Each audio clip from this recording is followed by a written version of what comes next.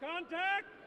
The view from the stands is seen by many, but one special group is cheering louder than others for the IWU women's basketball team. It's a small but loyal section of the stands that held parents and friends, which brought the team support from near and far.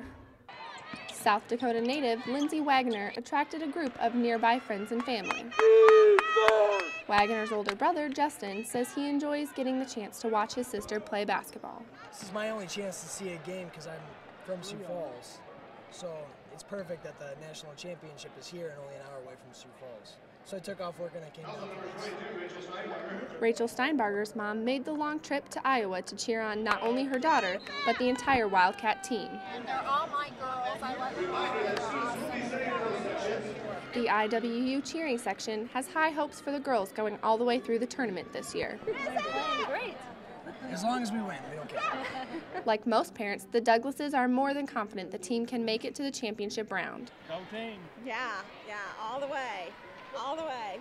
As a reward for their loyalty, the Wildcats earned a first round win, which brought the small but mighty crowd to their feet. Go Wildcats. Go IWU. Go. You rock. You are the best, and I love you all. For Wildcat Central from Sioux City, Iowa, I'm Jaclyn Heck.